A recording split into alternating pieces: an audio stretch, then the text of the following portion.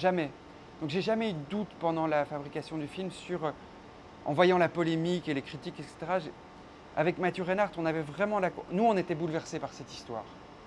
Simplement. On trouvait cette histoire hors norme. Et on s'est dit, mais on a une légende dans les mains, quoi. On a, on a une histoire pour faire un scénario.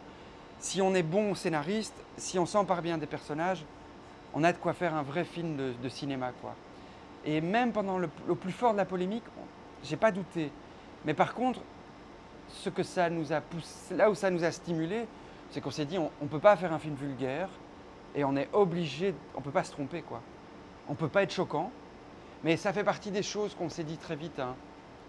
Quand, on a, quand on a vu le procès, par exemple Mathieu, je me souviendrai toute ma vie, il m'a dit, on filme pas le meurtre.